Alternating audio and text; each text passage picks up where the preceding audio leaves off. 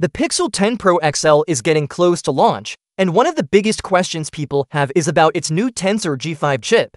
Can it finally make the Pixel series powerful enough to compete with the fastest phones on the market? At first glance, things looked promising, but when we look at the actual benchmark numbers, the answer isn't that clear. Google is officially announcing the Pixel 10 lineup on August 20th, and the main highlight is the new Tensor G5 processor.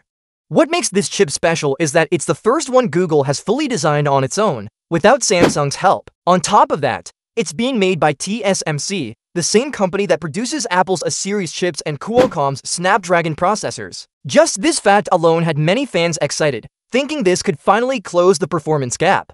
For years, Pixel phones have been criticized for being slower than their competitors.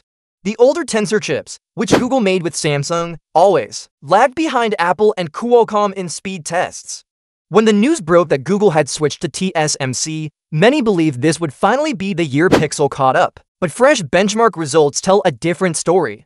The Pixel 10 Pro XL recently showed up on AnTuTu, a popular performance testing app.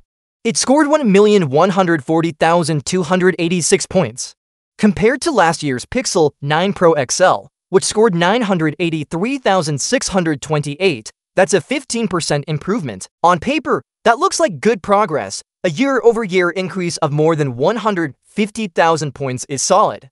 The problem is when you compare it to other flagship phones of 2025, Qualcomm's Snapdragon 8 Elite, which powers many of the top Android phones this year, is way ahead. The Red Magic 10 Pro currently leads the charts with a score of 2,662,615. Samsung's Galaxy S25 Ultra is also high up there with 2,164,612 points.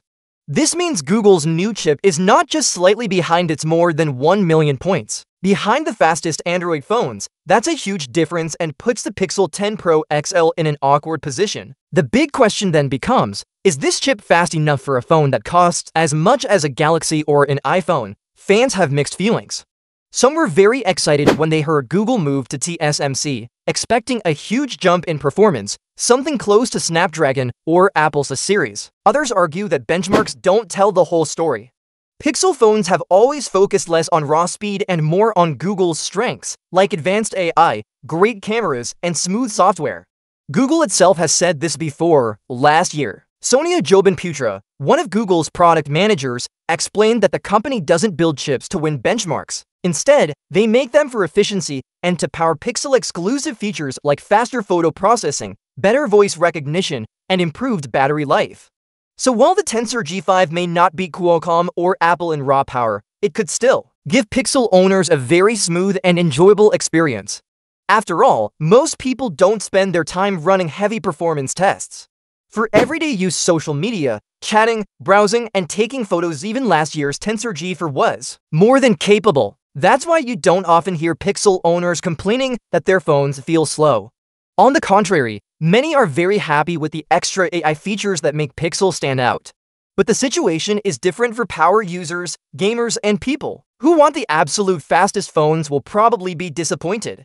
For them, the Pixel 10 Pro 40 isn't the best choice. Devices like the Red Magic 10 Pro or the Galaxy S25 Ultra clearly offer much more performance. This matters even more now because Google is charging premium prices for the Pixel lineup. In the past, Pixels were seen as good value great cameras and features at lower prices. Now, the Pixel 10 Pro XL is priced on the same level as Samsung, and Apple at that price, people expect not just good features, but also top-tier performance. So while the Tensor G5 is definitely an upgrade over last year, it might not satisfy everyone. For loyal Pixel fans, it will probably be just fine. They'll enjoy Google's AI features, excellent cameras, and years of software updates. But for people who only care about the fastest speed and gaming power, the Pixel 10 Pro XL may not be enough. In the end, the story isn't about Samsung holding Google back. Now that Google has designed its own chip and moved production to TSMC, it's clear that this is simply Google's approach. They're not trying to win benchmarks, they're building phones that match their vision of what's important. The Pixel 10 Pro XL is faster than before. But whether it's fast enough depends entirely on what you value most in a phone.